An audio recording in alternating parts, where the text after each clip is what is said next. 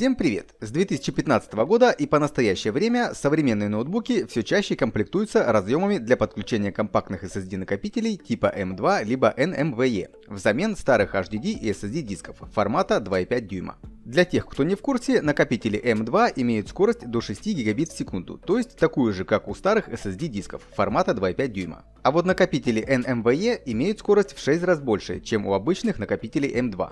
Хотя по форме и размерам, что M2, что NMVE накопители выглядят одинаково. Единственное различие между ними это ключ подключения. Но об этом чуть позже. А пока давайте разберемся, как вообще узнать, имеется ли в вашем ноутбуке разъем для подключения накопителей типа M2 и NMVE, и поддерживает ли такой разъем работу высокоскоростного накопителя NMVE. Для этого переходим по ссылке ниже в описании под этим видео, после чего мы попадаем на набирающий популярность сайт, который предназначен именно для этих целей. На главной странице сайта имеется вступительная информация об установке SSD накопителей типа M2. Также здесь рассказывается, какие ключи подключения у данных накопителей и прочие нюансы, с которыми я советую тщательно ознакомиться перед использованием данного сайта. Изюминкой данного сайта является то, что в нем имеется таблица с известными моделями ноутбуков, база которых постоянно обновляется. В данной таблице можно узнать, можно ли вставить в ноутбук SSD M2, есть ли в той или иной модели такой разъем, какой SSD в него можно установить, и будет ли поддерживать такой разъем скорость современного SSD M2 NMVE накопителя, либо у него будет обычная скорость SATA, как у SSD дисков формата 2,5 дюйма. Для наглядного примера по применению данной таблицы я буду использовать свой ноутбук. Модель данного ноутбука Dell Latitude E5270.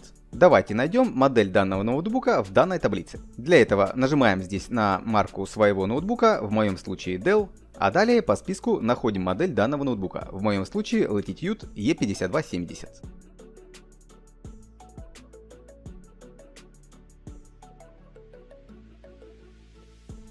Итак, модель ноутбука найдена, Напротив данной модели имеется информация о дате его выпуска. Далее указано, что в ноутбуке имеется один разъем типа M2 с ключом подключения типа B. Дополнительно в скобках указано, можно использовать либо SSD M2, либо HDD. В некоторых случаях здесь рядом можно открыть фото вскрытого ноутбука данной модели где красным цветом будет выделено место и разъем под возможное подключение SSD M2. Чтобы в этом убедиться, открываем крышку корпуса своего ноутбука и сравниваем это фото с тем, что у вас есть.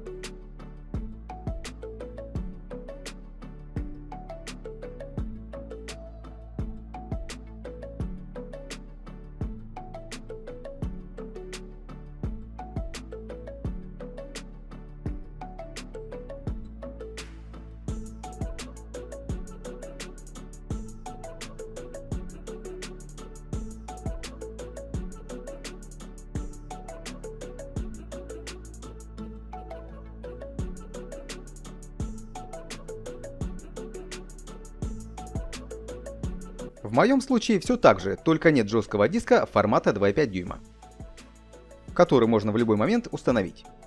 Как видно, так же как и на фото, у меня имеется в наличии разъем M2, в который можно установить SSD M2 накопитель с ключом B.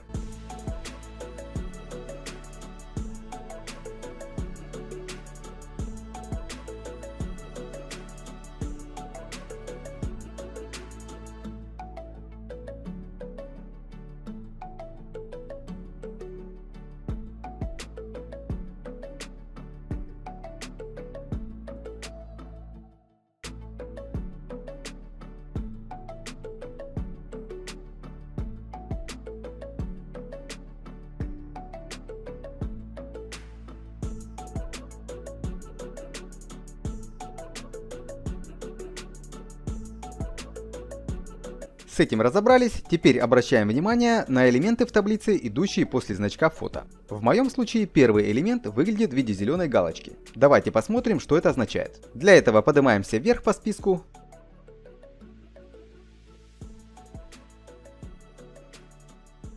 И видим, что в шапке этой графы имеется поддержка SATA.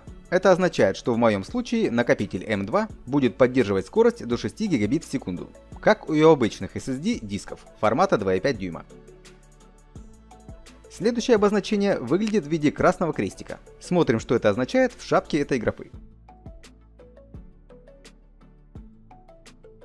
А это означает, что разъем M2 не будет поддерживать PCI, необходимый для высокоскоростного накопителя типа M2 NMVE. Поэтому смысла брать дорогой M2 NMVE накопитель, у которого скорость больше в 6 раз, чем у обычного M2, в моем случае нет. Можно ограничиться обычным M2 накопителем со скоростью до 6 гигабит в секунду. Также в этой таблице бывают случаи, когда ноутбук поддерживает одновременно накопители как M2, так и M2 NMVE. В заключение хочу отметить, если твердотельного накопителя у вас не было и вы планируете установить его впервые, то ознакомьтесь в интернете с обзорами и отзывами владельцев ноутбуков данной модели. Устанавливал ли кто интересующий вас тип SSD. Также будет хорошим вариантом обратиться в службу техподдержки. Ответ обычно занимает пару рабочих дней. В крайнем случае, если вы все же решились на установку той или иной модели накопителя, приобретайте его в таком магазине, в которой его можно было бы сдать и обменять на другой. В том случае, если он действительно окажется несовместимым с вашим ноутбуком. Кому было полезным и понравилось данное видео, поддержите его лайком и подпиской на канал, не забыв нажать на колокольчик. До скорых встреч на моем канале и всем пока!